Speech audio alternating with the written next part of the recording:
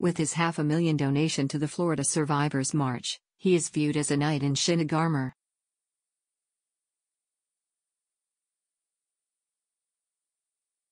And it seems George Clooney is getting set to play that role, literally, on screen too.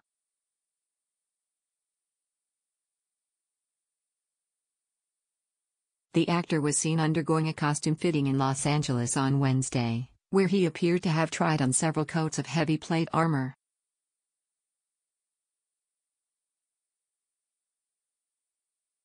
The 56-year-old sampled the suits at a private house. It is not known what project the Oscar winner is working on. His only film currently in post-production is Catch 22.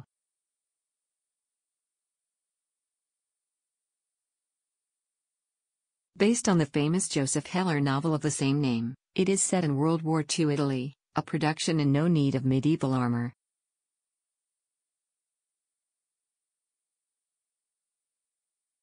The production is understood to be universal, if for the big screen it would be Clooney's first film since 2016's Money Monster opposite Julia Roberts and directed by Jodie Foster.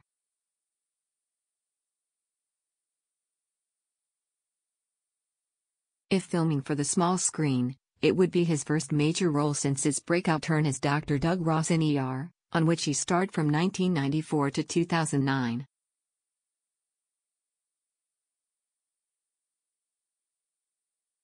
Or he could be shooting another Nespresso commercial. When not in armor on Wednesday, Clooney wore jeans, shoes, and a navy polo, with a full gray beard in effect.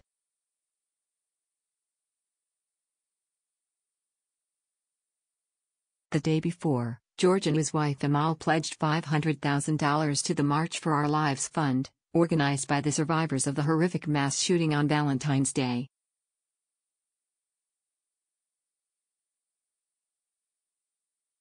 The couple announced they will also attend the event, bringing their eight month old twins Ella and Alexander, whose lives depend on a change to gun laws, they said.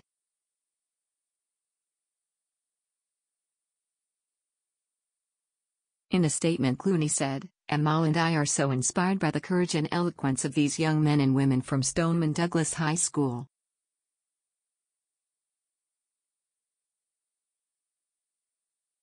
Our family will be there on March 24 to stand side by side with this incredible generation of young people from all over the country, and in the name of our children Ella and Alexander, we're donating $500,000 to help pay for this groundbreaking event.